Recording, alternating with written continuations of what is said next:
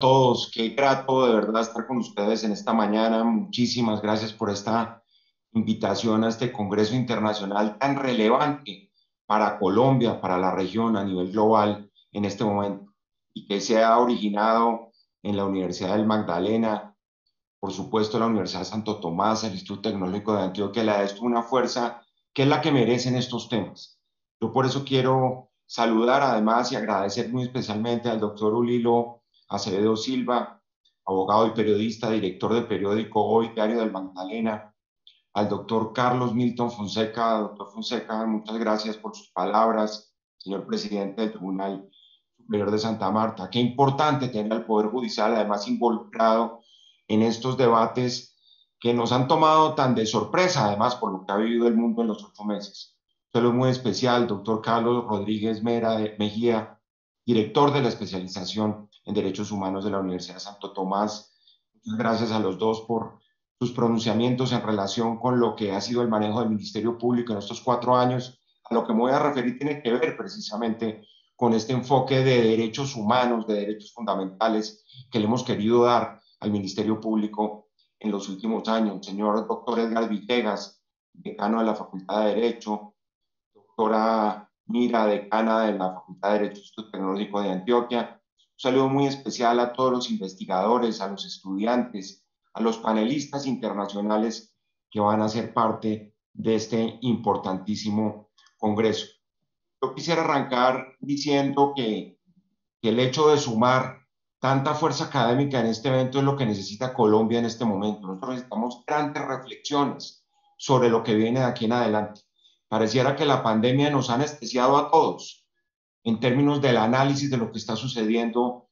con eh, la crisis jurídica, por llamarla de alguna manera, que se está presentando y que se va a seguir presentando y que es consecuencia además de la crisis sanitaria, de la crisis económica, de la crisis social que ha traído esta pandemia, pandemia, repito, a la humanidad. Y allí juegan un rol central los derechos fundamentales, los derechos humanos. Y hablar de la evolución de los derechos fundamentales sí que es pertinente. Yo creo que fue muy feliz la circunstancia que ustedes hubieran bautizado este Congreso de esa manera, porque si hay algo que es un blanco móvil, como se dice hoy en día, si hay algo que es dinámico, es un poco no solo la interpretación de lo que representan hoy los derechos humanos para el desarrollo, un enfoque completamente nuevo, no únicamente por la garantía del Estado de Derecho Democrático, sino también por la garantía del Estado Social de Derecho. Yo creo que los temas que ustedes han delineado en esta agenda son los temas que en este momento están precisamente en el corazón de las preocupaciones a nivel global,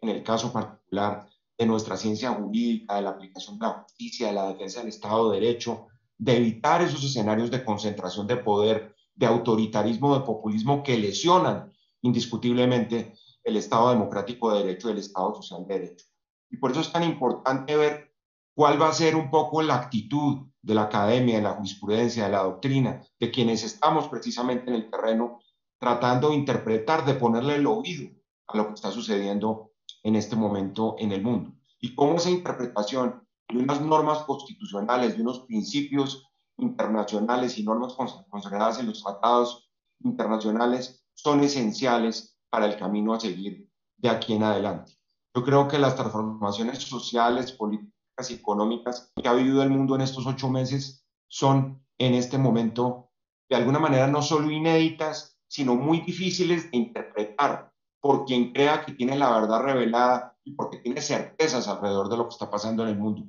Eso no existe en este momento. Y eso es muy bueno destacarlo. Y hay un esfuerzo de los estados como tales, incluyendo por supuesto a la sociedad civil, la comunidad internacional, las empresas, los líderes sociales de alguna manera nos han llevado muchas interpretaciones a decir que nos tenemos que reinventar y nadie sabe ni, siquiera qué significa eso, independientemente que sea tal vez el concepto más trillado y el lugar común más recurrido en estas épocas de pandemia.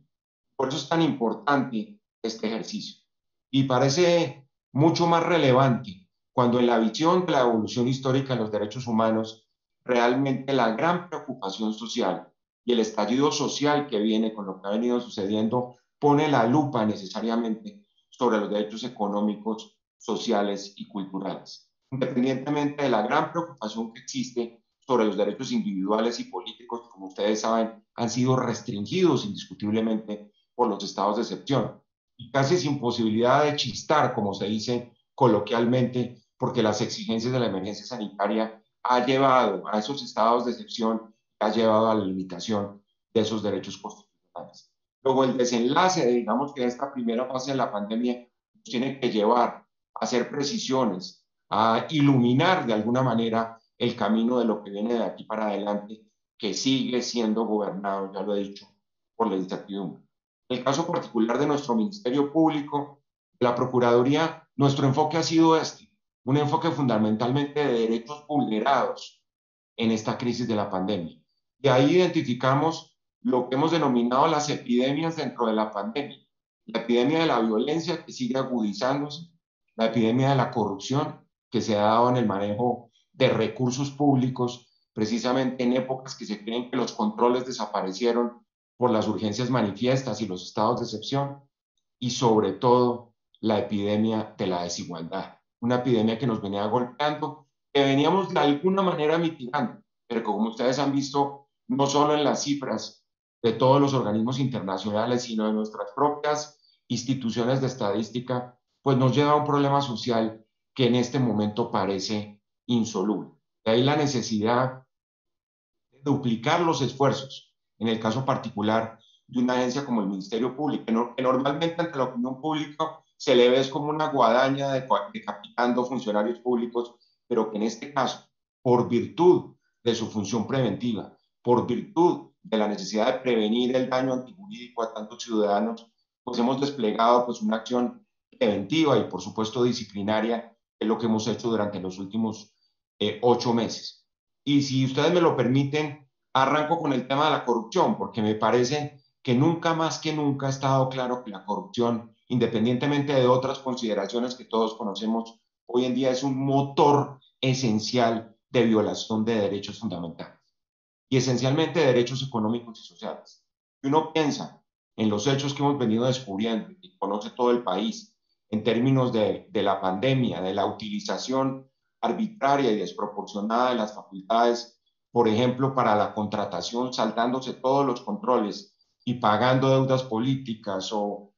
supuestamente siendo leales con las amistades, entregando contratos, todas conductas irregulares, por supuesto, uno llega a la conclusión que es doblemente grave esa falta, no solo por los atentados contra la ética pública, sino además por lo que representa esto a nivel del daño de unos recursos públicos que son todavía más escasos, que están destinados en este momento a las poblaciones más vulnerables, cuyo número ha crecido indiscutiblemente, porque ustedes han visto los millones de ciudadanos colombianos que están condenados en este momento a la pobreza por cuenta de la pandemia, en términos además del desempleo que ha sido creciendo. Nosotros hemos dicho, y nunca ha sido una exageración,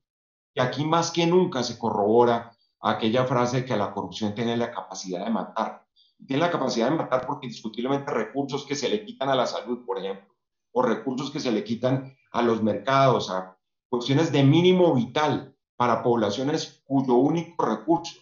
para sobrevivir es la entrega del mercado o la entrega del ingreso mínimo que hace el Estado. Cuando se pierden esos recursos, indiscutiblemente estamos atentando contra la vida y no solo contra la dignidad de las personas.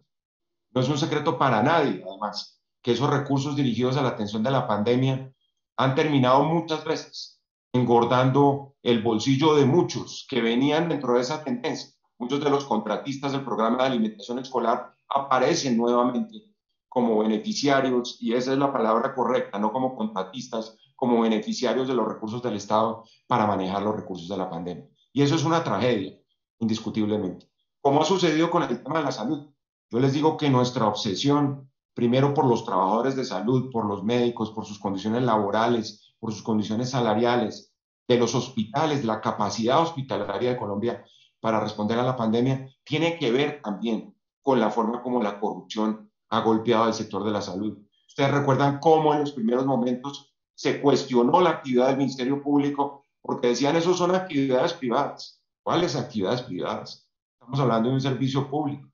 Estamos hablando de recursos públicos. Estamos hablando de un derecho fundamental de los ciudadanos. Tres componentes que son esenciales para demostrar Y eso lo hicimos además administrativamente, creando una Procuraduría Delegada de la Salud que no ha dado abasto en estos cuatro años que vamos a cumplir y ojalá se mantenga en la próxima administración, porque son muchos los abusos que se venían cometiendo y se crecieron también durante la época de la pandemia. Ahí hemos puesto, repito, el bisturí en nuestros hospitales regionales, en las empresas sociales del Estado, en la forma como se ha relegado a un segundo plano a nuestro cuerpo médico a la hora de la garantía de los derechos. La corrupción entonces es una pandemia que, porque es global además, pero en el caso nuestro ha sido una epidemia que difícilmente hemos podido combatir y todas las fuerzas del Estado y de la sociedad civil tienen que continuar en esa dirección. Esto último lo quiero destacar porque ha sido la ciudadanía denunciando la fuente principal de esa buena cantidad de irregularidades que se han venido cometiendo. Eh, en el caso de la violencia, todos lo sabemos, es tan triste esta realidad que ya es un, un lugar común en este país hablar del asesinato de los líderes sociales, de cómo se han recrudecido las condiciones de inseguridad en los territorios de Colombia, en esa otra Colombia donde la presencia del Estado es precisamente la excepción y donde la justicia no existe. Y yo quiero resaltar en este momento, eh, doctores, la importancia de hablar de acceso a la justicia en este momento en Colombia, porque acceso a la justicia es hablar de un derecho fundamental de los ciudadanos como lo concebimos en la Constitución de 1991. Yo les quiero contar que por fortuna, en este momento y como resultado de una gran consulta ciudadana que adelantamos durante ocho meses, está en este momento en el Congreso de la República, ya aprobado en la Comisión Primera del Senado, un proyecto de ley simple, sin ambiciones, no es una ley estatutaria, no es una ley orgánica, no es una reforma constitucional. Hemos dicho que es la revolución de las cosas pequeñas, que es un proyecto de ley de acceso a la justicia, pensando en la justicia local, en la justicia territorial, que ojalá, queridos decanos, directores de especializaciones, ustedes que están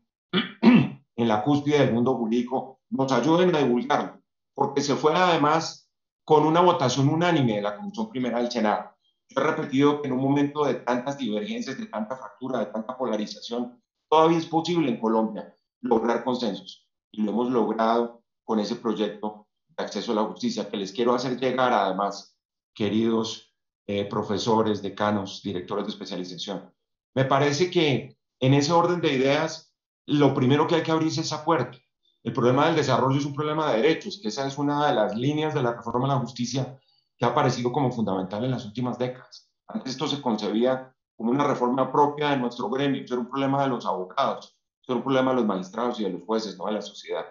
Hoy esa visión ha quedado atrás. La reforma de la justicia es reforma social, la reforma de la justicia es fundamental para lograr crecimiento, para generar desarrollo, para conseguir equidad. Y en esa línea aparece además la posibilidad de castigar igualmente la corrupción. Lo más importante de todo esto, y lo tenemos documentado, es la forma como durante la pandemia los derechos fundamentales, y más adelante ojalá tuviera oportunidad de, de enfatizarlo, en materia de derechos sociales aparecen las más grandes amenazas que se han presentado a nivel de transgresiones de los derechos fundamentales de los ciudadanos. Para no hablar,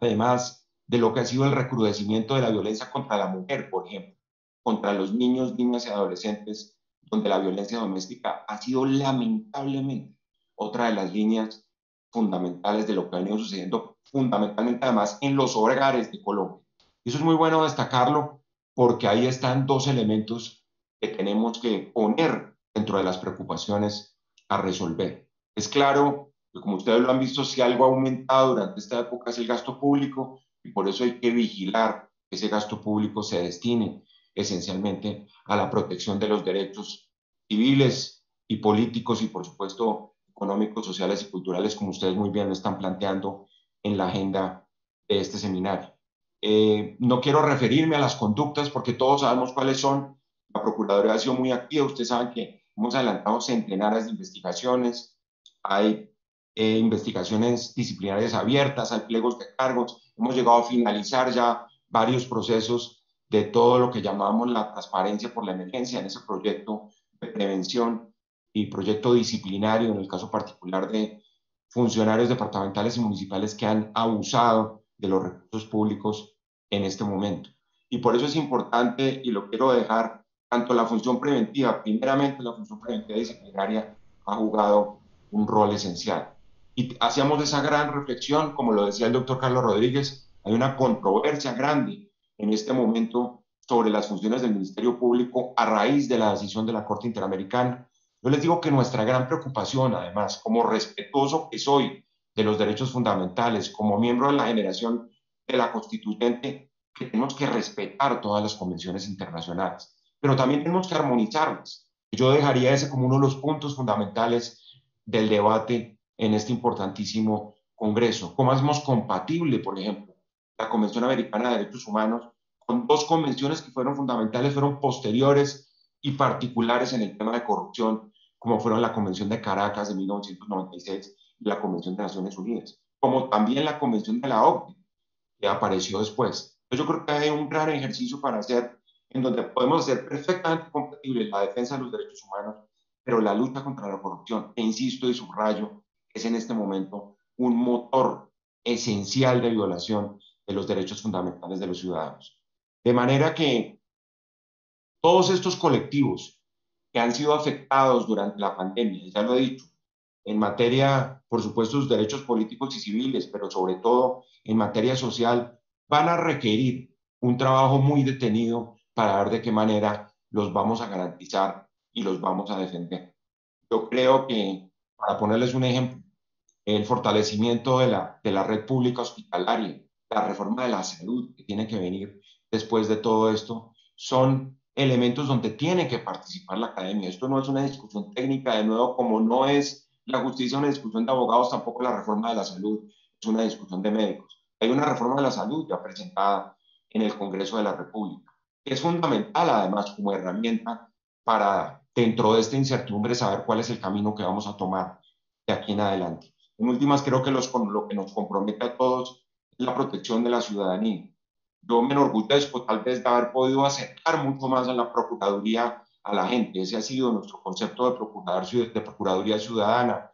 de constitución en la mano, que significa respetar precisamente la columna vertebral, la constitución del 91, como es todo lo relativo a los derechos humanos y a los derechos fundamentales de los ciudadanos, el corazón al lado de las víctimas, que ha sido nuestra segunda gran consigna, y los pies en los territorios han marcado una acción en esa dirección. Y en ese sentido, por eso también nos hemos preocupado, y como no me puedo referir a todos los temas por la escasez del tiempo, les digo, la situación carcelaria ha sido otra de las grandes preocupaciones del Ministerio Público. Llevamos dos informes denunciando un poco las violaciones que se siguen presentando a nivel de los mismos vitales. Ustedes saben que fue muy progresivo como se le fue entrando a este tema, de pronto tardío, en algunos casos, en todos los países que han tratado de manejar la pandemia, siempre se le ha dado una gran prioridad al tema penitenciario. Aquí seguimos con problemas muy graves de garantías del derecho a la salud, al agua potable y por supuesto a las garantías de acceso a la justicia porque las audiencias de aquellas personas cuya situación jurídica no se ha definido siguen en entredicho. En fin, muchos temas están ahí en la reforma penitenciaria y carcelaria, destacando además, como lo hemos hecho además con, con mucho respeto, que fue mucho más efectiva la legislación ordinaria para combatir el hacinamiento carcelario que las medidas de emergencia que se tomaron, que significaron un porcentaje mínimo de personas que recuperaron la libertad en ese momento. Seguimos insistiendo, pues, que ahí en las cárceles no es un problema de justicia, sino sigue existiendo un problema de salud pública que hay que resolver. Yo termino simplemente destacando lo que sigue siendo ese lastre diario al prender un, un radio o prender una televisión es el asesinato de los líderes sociales, donde parece que la impotencia es grande. Yo les digo, hemos tratado de desplegar todas las acciones del Ministerio Público y creo que hemos podido prevenir muchos de esos hechos con las mesas por la vida, más de 11 mesas por la vida que hemos hecho con la Defensoría del Pueblo, con la cooperación internacional en los territorios, porque no son mesas bogotanizadas creyendo que dando órdenes de Bogotá se soluciona el problema de los líderes sociales. Pero es mucho más lo que tenemos que hacer por la defensa de los líderes sociales, en los medios de comunicación, en las redes sociales. Lo que se está emasculando ahí, lo que se está mutilando, son indiscutiblemente proyectos sociales de desarrollo del país, generalmente de, de comunidades cuyos derechos han sido completamente vulnerados, porque es evidentemente lo grueso es cómo se atenta contra el derecho a la vida y la dignidad de las personas, pero también cómo se anulan proyectos sociales en donde la defensa, por ejemplo, a nivel de la restitución de tierras, ha sido uno de los elementos esenciales a la hora de esa máquina de terror que han montado organizaciones criminales contra los líderes sociales. De tal manera que esta época, estos ocho meses, nos puso a prueba a todos. Desde el punto de vista jurídico tenemos que hacer muchas reflexiones. Eh, lo dicen muchos magistrados de las Cortes Europeas, yo lo cito siempre, particularmente los magistrados del Consejo Superior del Poder Judicial de España, como la conflictividad y la litigiosidad va a seguir creciendo, porque si algo se han vulnerado son los derechos de los ciudadanos. Y si algo se ha presentado son los conflictos de derechos que tiene que resolver por lo menos la justicia formal o los nuevos métodos alternos de resolución de justicia que están a propósito, muchos de ellos, eh, con fuerza local en el proyecto de acceso a la justicia que está en el Congreso de la República. Luego quiero decirles que la protección de los derechos humanos más que nunca es la piedra angular, no solo de la labor de la Procuraduría, del Ministerio Público en general, sino de todas las instituciones del Estado y tiene que ser el punto de concentración, además, de la educación de nuestros estudiantes, por supuesto, de los jóvenes abogados, de quienes entran a buscar nuevas herramientas para manejar esta gran incertidumbre acompañada de desesperanza que nos acompaña hoy por cuenta de la pandemia. Yo quiero, por supuesto, destacar como nuestro objetivo, además, independientemente del fortalecimiento del Estado democrático de derecho, como ya lo he dicho, es tratar de maximizar los esfuerzos para superar las brechas de equidad, de violencia, de inseguridad que amenazan la vida y el bienestar de los colombianos. ¿Cómo debemos adaptar todo esto, incluso la digitalización? estoy seguro que la doctora María Quiñones se va a referir a eso, y es un poco la brújula ética que hay que ponerle a la digitalización. Nosotros tenemos que concebir el capítulo de derechos humanos y la defensa, la protección, la garantía de los derechos humanos en clave digital. En Europa, en este momento, en la Carta Europea de Derechos Humanos, la gran discusión es cómo se ponen los derechos fundamentales en esa dimensión digital. Esos debates hay que comenzar a darlos en Colombia. Yo estoy convencido, pues, que esa era digital nos da grandes oportunidades, pero por supuesto representa un gran desafío de ética pública, y ustedes lo han visto en el caso particular de la gestión de la Procuraduría, pues ha sido una de nuestras grandes obsesiones. Para concluir, Creo que hay amenazas antiguas y nuevas contra los derechos humanos y los derechos fundamentales de los ciudadanos. Segundo, que hay que evaluar esos mecanismos tradicionales de protección de derechos. Hay que actualizarlos, hay que dinamizarlos, como lo dicen ustedes en el título de esta importantísima conferencia internacional. En tercer lugar, que nos vamos a ver abocados, si ya la traíamos grande, a una crisis adicional de la justicia y hay que abrir las puertas de acceso a la ciudadanía, a la defensa de sus derechos. Y con todo el respeto, yo creo que este no es un asunto, y lo hemos repetido, estaba en la exposición de motivos de nuestro proyecto en el Congreso, que este no es un asunto de reforma de las cúpulas de la justicia en Bogotá. Y la bogotanización de la reforma de la justicia ha sido una de las causas de su fracaso. De las 17 reformas que se han intentado desde el año 2002, todas terminan en el bote de la basura o de las frustraciones del pueblo colombiano. Por eso tenemos que pensar en una dimensión distinta de la reforma de la justicia, en una dimensión territorial y local. Qué mejor que sea una universidad que desde Santa Marta le plantea estos temas al país. Yo creo que el país necesita hoy, y lo decía ayer en la entrega de resultados de la Jurisdicción Especial para la Paz, esa es la gran equivocación de algunos. El país necesita hoy más justicia que nunca, no menos justicia. Necesitas crear nuevas instancias de acceso y no demoler instituciones. Uno no puede pensar que demoliendo el Estado de Derecho a contribuir a la reforma de la justicia. Este país necesita más acceso a la justicia, más jueces, más presupuesto para la justicia, más política judicial, para lo cual no es necesario además una reforma constitucional ni leyes estatutarias. Y, y hablo de política pública judicial, por supuesto, de ninguna manera politización de la justicia es otro de los lastres que nos ha tocado enfrentar. De tal manera que es en la justicia local, es en la descentralización de la justicia, es en la desconcentración de la justicia donde está la clave. A los 30 años de la Constitución del 91, que ya comenzamos a celebrar Yo creo que es la hora y creo que el grano de arena inmenso que están poniendo ustedes hoy en el debate es que comencemos a mirar cuál es el estado de los derechos de los colombianos en este momento.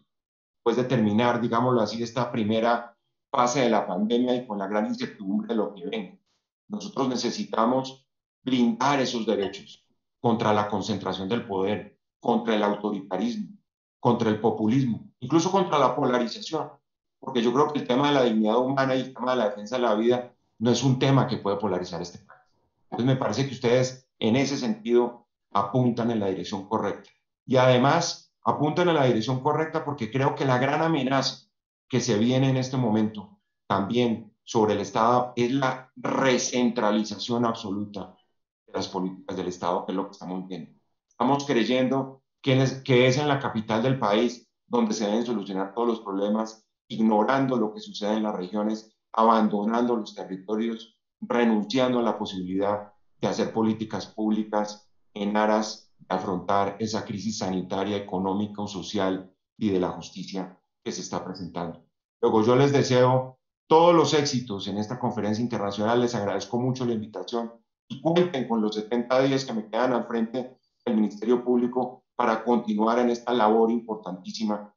en la cual además ustedes están contribuyendo con creces gracias a esta conferencia internacional y a las reflexiones que serán muy útiles, estoy seguro, para el futuro de nuestro país en estas materias. Muchas gracias a todos.